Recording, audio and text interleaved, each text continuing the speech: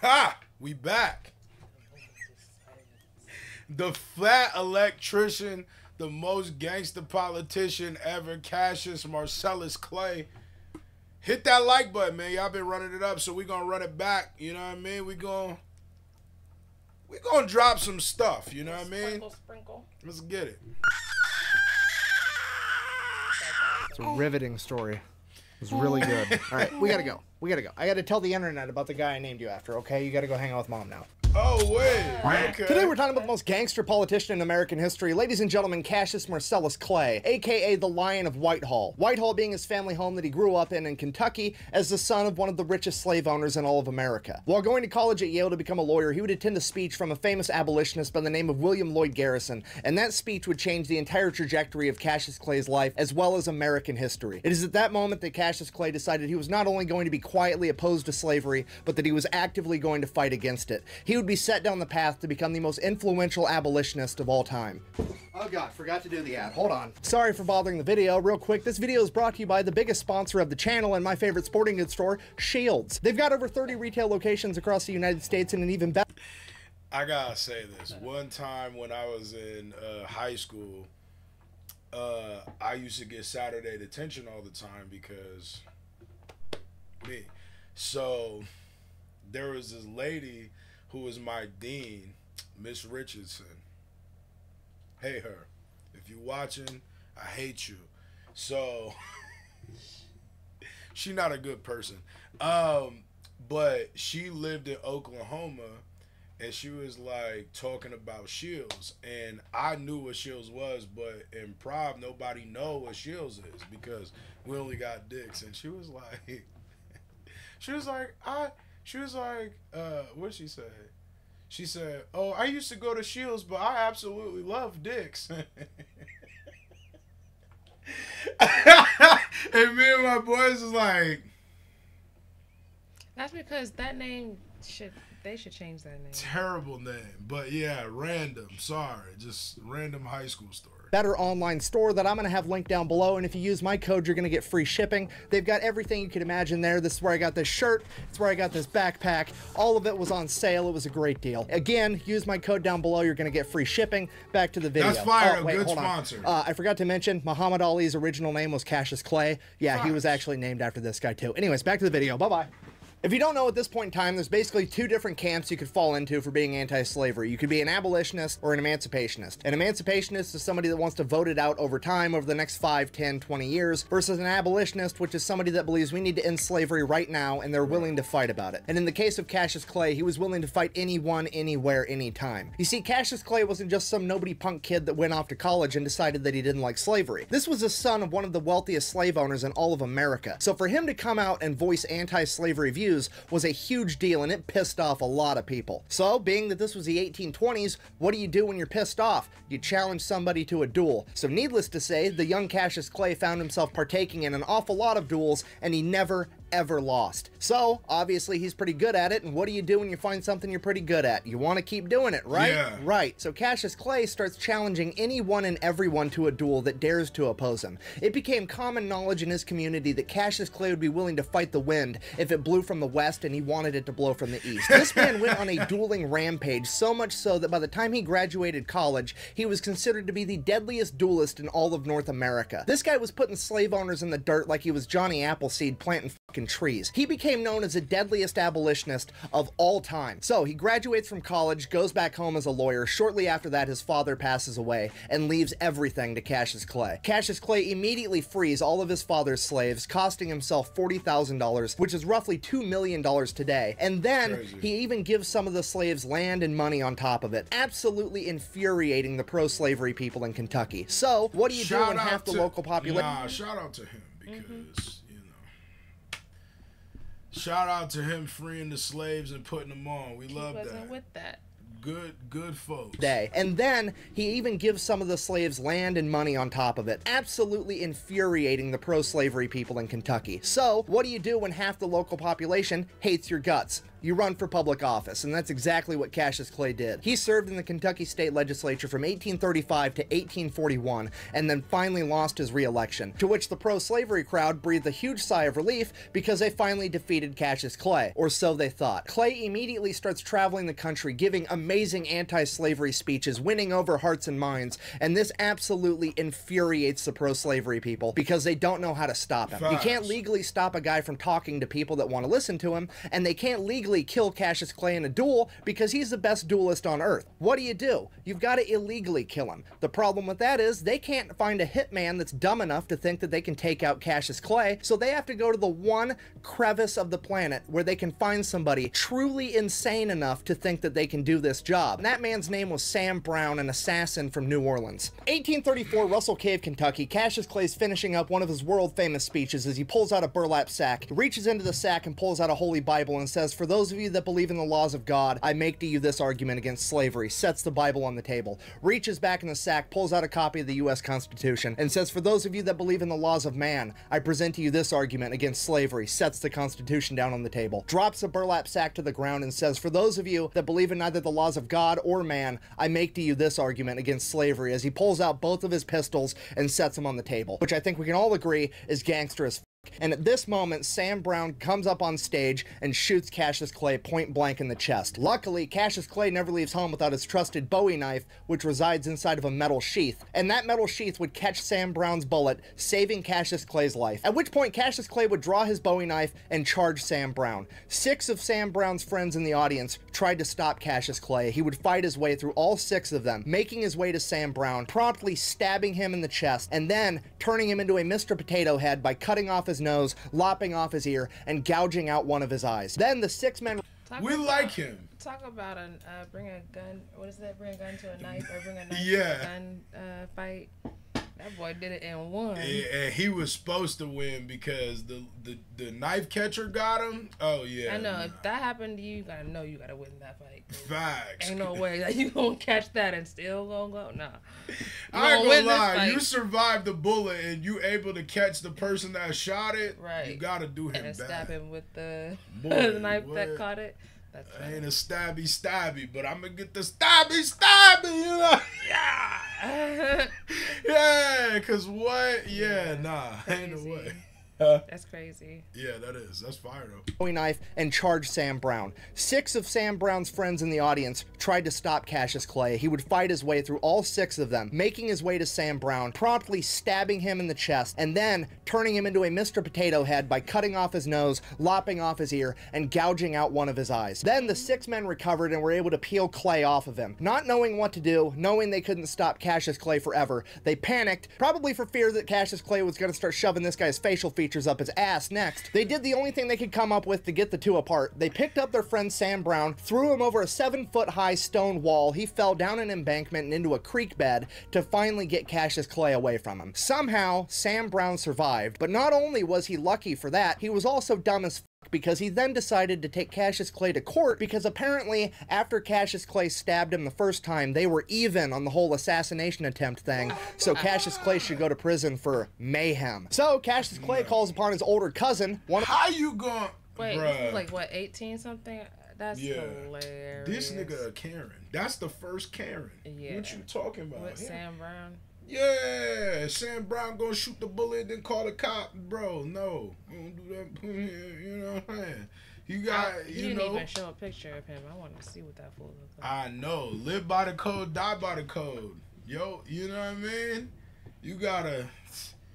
Sheesh. The- That's like robbing a drug dealer. That's like you being a drug dealer getting robbed and calling the police like somebody just took all my drugs. Like what? where did Nah. he do that? stabbed him the first time, they were even on the whole assassination attempt thing. So Cassius Clay should go to prison for mayhem. So Cassius Clay calls upon his older cousin, one of the best lawyers on the planet that had never lost in open court with over 40 years of experience, Henry Clay. Henry Clay goes into court and his entire defense for his cousin is, and I quote, Your Honor, this is just standard behavior for a Kentuckian. And the judge is just like, You're innocent.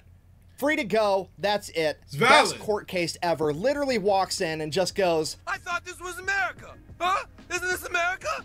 I'm sorry, I thought this was America. So after Cassius Clay was found innocent, Henry Clay decides that he's going to run for president and Cassius is going to help him campaign. Cassius is going to tour the country giving speeches saying, hey, you know, vote for my cousin. Here's the rule with that. Henry Clay told him he's only allowed to tour the northern states because he's actually legitimately concerned that if he sends Cassius to the south, he's going to shoot so many fucking slave owners in duels that it could be considered voter fraud. So Henry Clay ends up losing the presidential That's election and. Cassius moves on to his next life adventure, which is becoming an author and writing anti-slavery news articles. The problem with that was none of the newspapers were willing to publish him, so he says, you, I'll start my own newspaper, The True American. Now, as I'm sure you can imagine, starting an anti-slavery newspaper in fucking Kentucky in 1845 was not very popular, and his business would receive death threats pretty much every day, some of which were written in blood. So Cassius Clay, in true Cassius Clay fashion, says, it, I guess we're gonna fight about it. He then proceeds to up armor his entire business and his printing office. He covers the entire front of the office in a large iron sheet. He installs several cannons down corridors, stocks the entire thing with loaded guns, and rigs it to explode. Here's the thing, he also doesn't expect his em- is he, the Punisher? Like,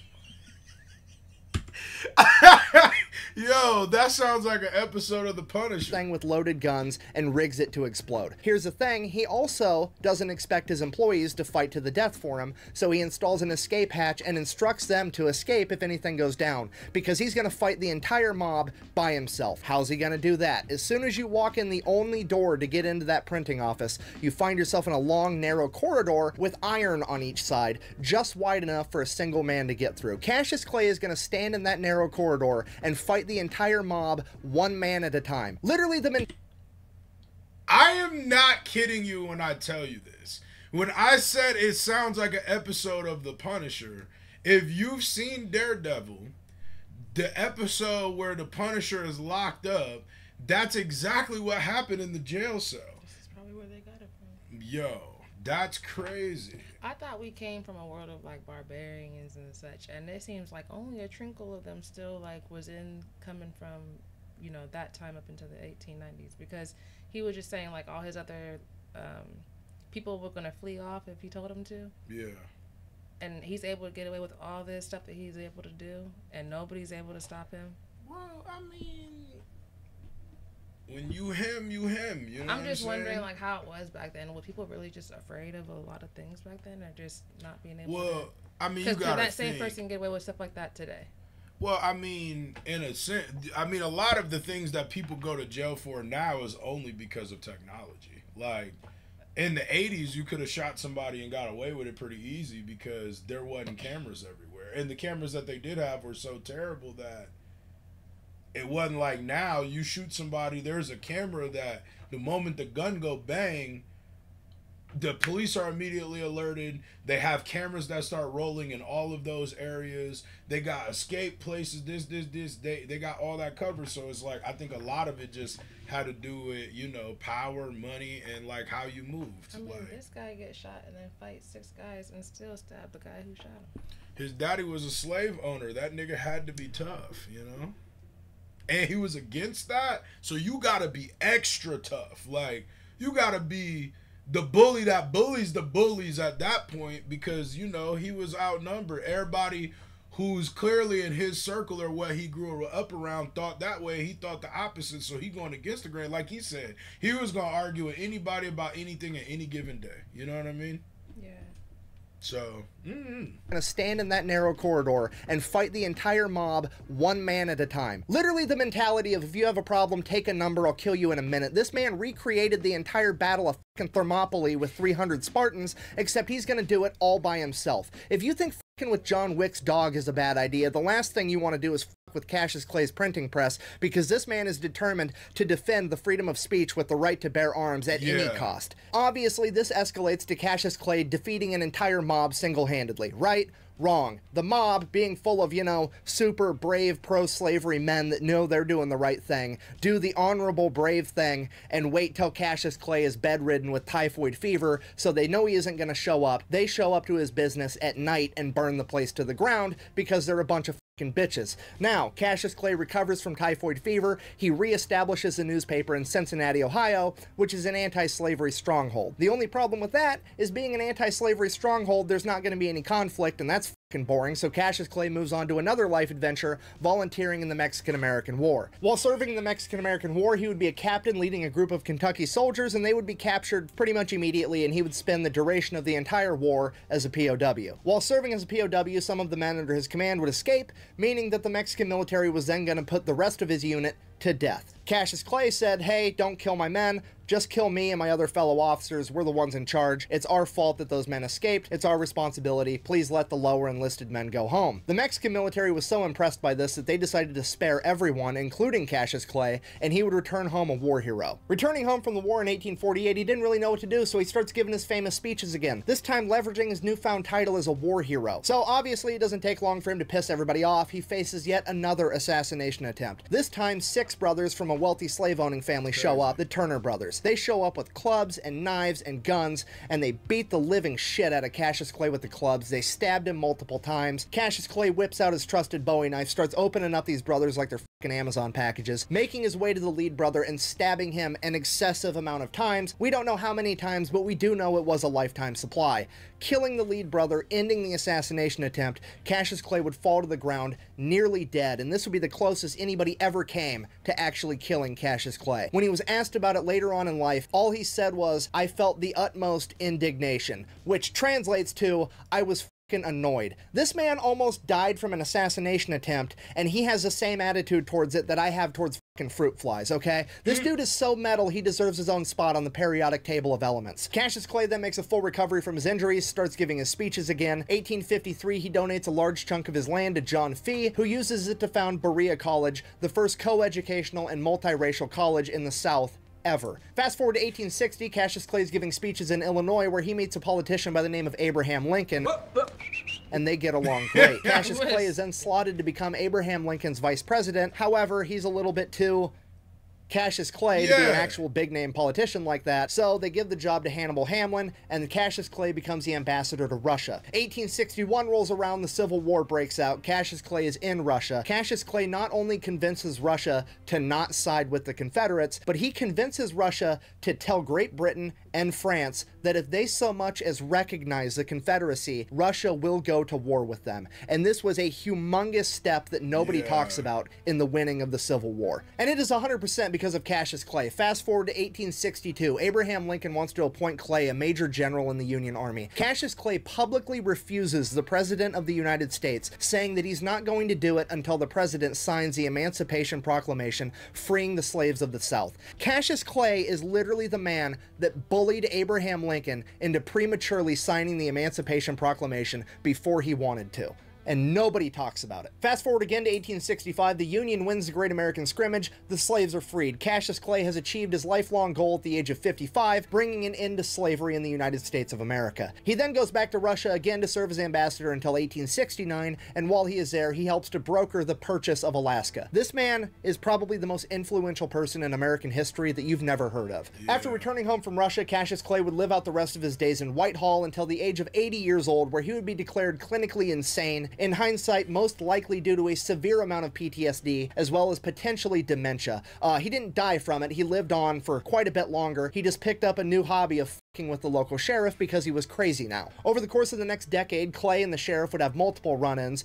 that would be concluded when the sheriff and seven deputies were repelled from Whitehall when Clay utilized his home defense cannon that he had at the top of his stairwell. At that point, the local sheriff would inform the local judge he will not be returning to Whitehall to tangle with Cassius Clay anymore unless the judge was willing to dispatch an entire company of the local militia to accommodate him. Then in 1900, two men would break into Whitehall, and Cassius Clay, at the age of 89, would manage to kill both of them, one by gunshot and one, yet again, with his trusted Bowie knife. Then in 1903, at the age of 92, Cassius Clay would die of natural causes, or as they called it back then, general exhaustion, which is the most gangster way on the planet to go out. Literally just, I'm tired now. Peace. And then he left. I'm pretty tired. Think Yeah. I'll go home now. In conclusion, when it comes to famous historical household names, there's always another man or woman lurking behind the scenes in the shadows that's deemed too rough around the edges to be in the spotlight, yet they contribute just as much, if not more, to the movement. These men and women are willing to do horrific things for terrific reasons. And when it came to Abraham Lincoln and the abolition of slavery, that man's name was Cassius Marcellus Clay, the most gangster politician in American history. Thanks for watching the video. Best way to support the channel is go buy some merch at thefatelectrician.com. Quack bang out.